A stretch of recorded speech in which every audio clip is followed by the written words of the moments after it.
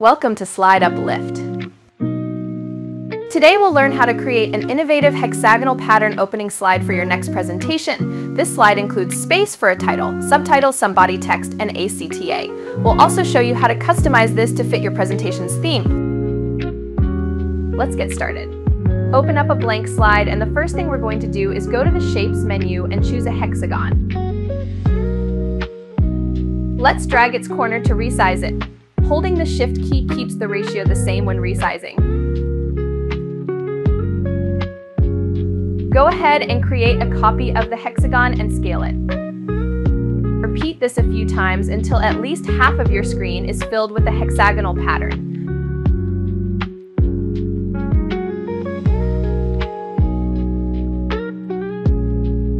Next, we'll crop the shapes to fit perfectly inside the side. Go to Shapes and select Rectangle.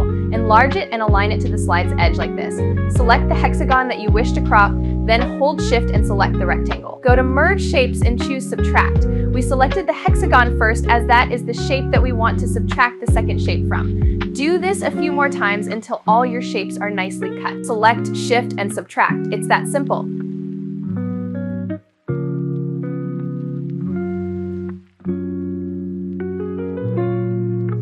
Now we're going to select all the hexagons using Shift, go to Shape Format and pick Union. This merges them together as one shape. Remove the outline of the shapes by going to Shape Outline and selecting No Outline.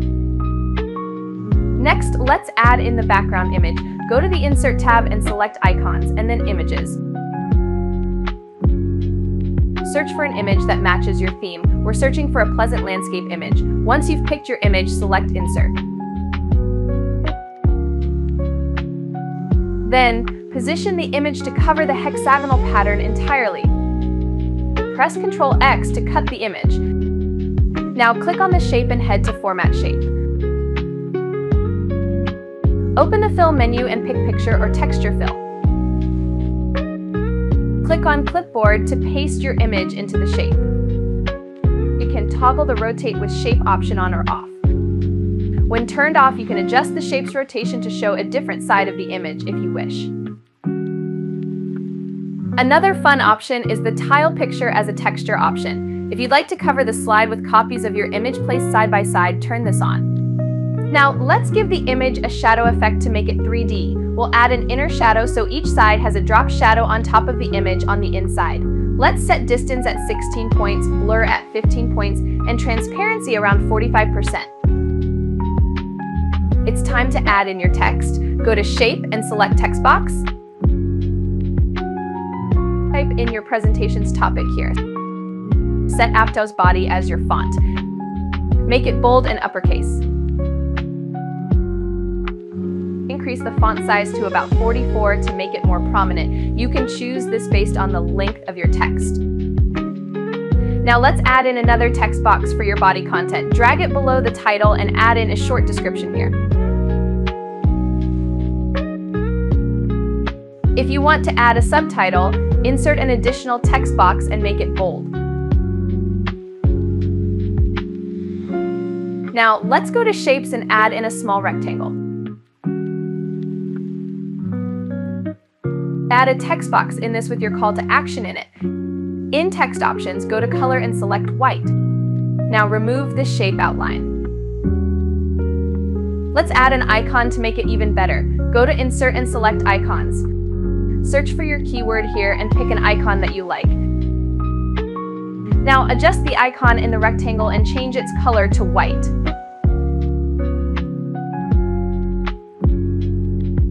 It's time to tie the design together through color. Select the subtitle text box and go to Font Color. In More Colors, you'll find the Color Selection tool. This lets you pick up a specific shade from any point of your image. Find a nice color that will match your slide. Next, select the rectangle and head to Shape Fill. Here, choose the same color. Now that your slide is ready, let's bring it to life with animations. Let's group the shape and icon by selecting them. Right-click to open the menu and pick Group. Then hold the Shift key and select the object you want to animate. Go to the Animation tab and select Fly in Animation. In Effect options, set the direction of animation to from left. Navigate to the animation pane and select all layers. Right-click and open the timings menu. Open the Effects tab and set Smooth End to 0.25 seconds. In the Timings tab, set Start to on click. Keep the duration as 1 second. Click on OK to apply the changes. Open the timing menu for the subtitle object layer and set Start to with previous, keep a delay of 0.3 seconds, and click on OK. Do the same for the description layer. Set the delay as 0.6 in this case. Finally, select the shape layer and open the timing menu. Set Start as with previous and delay to 0.9 seconds. Click OK. Start the slideshow to see what our entry animations look like. Your slide is now complete. But let's look at how we can create some variations. First, let's create a dark themed version of the slide. Select the background and open the Format Background menu. In the slide navigation bar, select your slide. Hold down the Control key and press D to duplicate it. Select Solid Fill and add in a color. Pick black. Select your description and header. In Format Shape, go to Text Options and set color to white.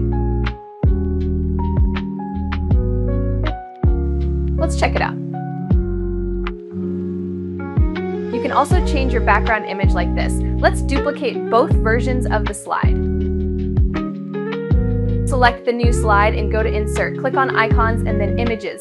Type in your keyword to find a relevant image. Once you've selected it, click Insert.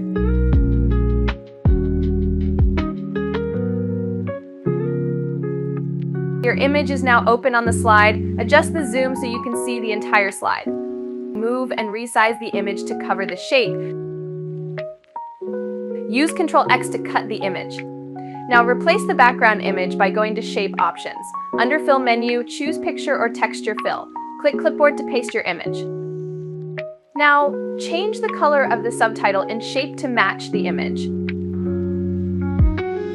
Repeat these steps to create as many variations as you'd like.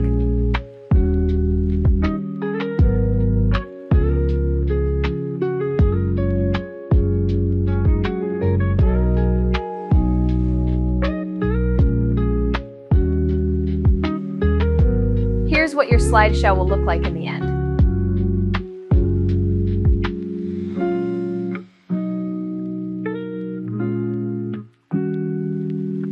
If you found this video helpful, don't forget to like, share, and subscribe to SlideUpLift. You can check out our channel for more PowerPoint tutorials.